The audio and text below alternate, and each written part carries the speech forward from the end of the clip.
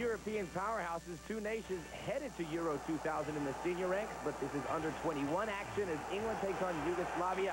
Gerard Houllier, one of many coaches there, looking on at the festivities. Many of these players you would not believe are actually under the age of 21, like Dejan Stankovic, a regular with Lazio in the Italian Serie A. That one hits the side netting. He wishes he had another look. There you see it, well marked up by England, well defended. A foul against England, quickly taken. Gerrard's free kick finds Emile Heskey. He's under 21. He finds Andy Campbell. And it's 1-0 England in minute 24.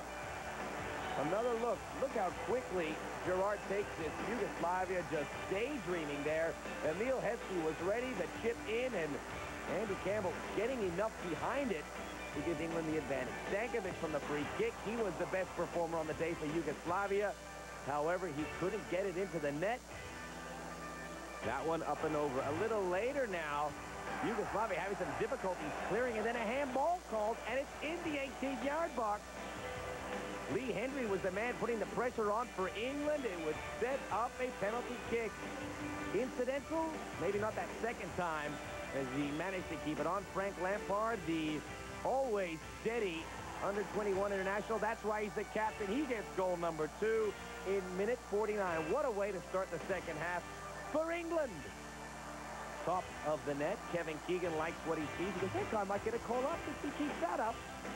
A little later, England looking to salt it away. The cross over the head of Heskey.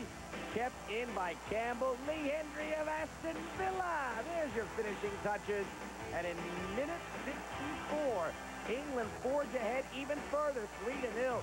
Easily dispatching of Yugoslavia. The final score, 3 to 0. Max, thank you.